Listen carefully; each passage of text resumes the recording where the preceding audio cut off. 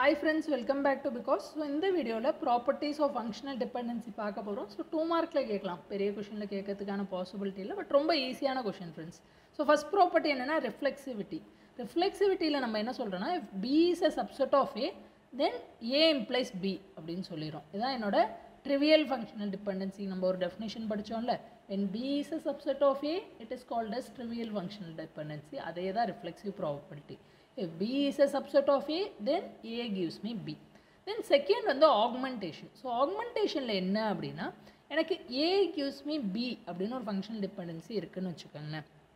ஆக்மெண்டேஷனில் நான் என்ன பண்ணான்னா இங்கே ஏ கூட என்ன வேணால் சேர்த்துக்கலாம். எக்ஸ் ஒய் டபிள்யூ இந்த மாதிரி உங்களுக்கு என்னெல்லாம் பிடிச்சிருக்கோ சேர்த்துக்கலாம். ப்ரொவைடட் நீங்கள் லெஃப்ட்டில் என்ன சேர்க்குறீங்களோ அதே ரைட்லேயும் சேர்த்துக்கணும்.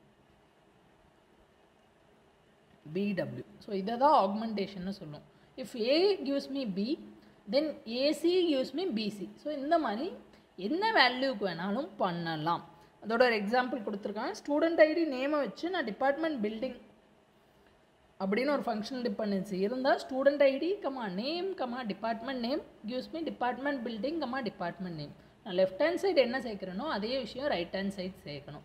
தென் டிரான்சிட்டிவ் நம்ம ஆல்ரெடி பார்த்துட்டோம். A gives me B B gives me சின்னு இருந்தால் ஏ கியூஸ் மீ சி அப்படின்னு எழுதலாம். ஸோ இதை டிரான்சிட்டிவ்னு சொல்லும். தென் யூனியன் என்ன?